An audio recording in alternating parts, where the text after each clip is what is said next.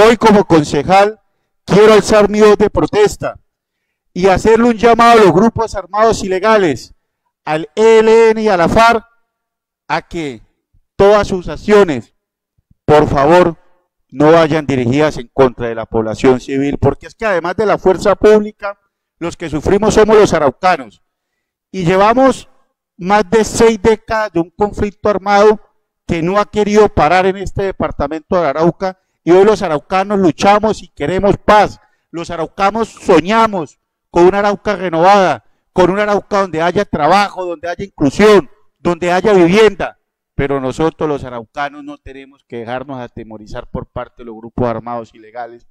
Y nuevamente yo los invito a un llamado, a una mesa de diálogo, porque Arauca lo que merece es la paz. Y no puede haber progreso si no hay paz. Y no puede haber progreso si no hay seguridad. Por tanto, siempre lo he dicho, el presidente Petro, una de sus banderas es la paz. Y no puede ser de que en ese documento, Plan Nacional de Desarrollo del presidente, pocos recursos vengan para Arauca, si una de las maneras para garantizar la paz es invirtiendo en salud, educación, seguridad, empleabilidad y desarrollo territorial para aquellas regiones donde hoy son más afectadas por la guerra. No es posible que un gobierno, un presidente que busque la paz, hoy se esté dedicando al fortalecimiento de los grupos armados ilegales y no busque acciones que en realidad vayan a responder a la seguridad del territorio de Arauca. Pero hoy tengo fe y hoy tengo esperanza y yo creo en los diálogos de paz. Y es por eso que sigo invitando al ELN y a la FARC a que sigan con los diálogos de paz. Porque la mejor manera de salir de ello es negociando. Yo no conozco la primera guerrilla que se haya acabado a punta de bala. Hoy yo creo en el diálogo, pero tiene que ser un diálogo concertado, un diálogo con acciones donde prime la seguridad del municipio de Arauca y tiene que ser un gobierno que se encargue por mejorar la educación, la salud y reducir las brechas de desigualdad que tanto este país colombiano representa, porque somos en Latinoamérica el segundo país más desigual y mientras haya pobreza es difícil que los grupos armados se acaben en Arauca y que la delincuencia pueda reducir.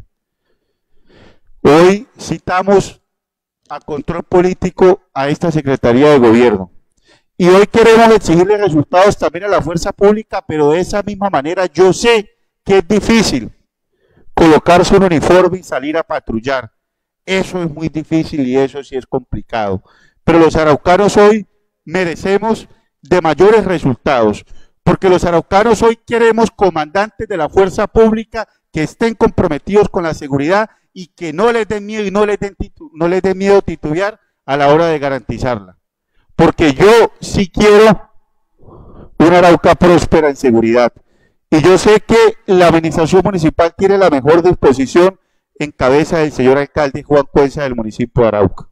Pero aquí el Consejo también tiene que apretar y le hago un llamado a los grupos armados ilegales a que dejemos a la población civil fuera del conflicto porque eso además atenta contra el derecho internacional humanitario y todos los convenios de Ginebra.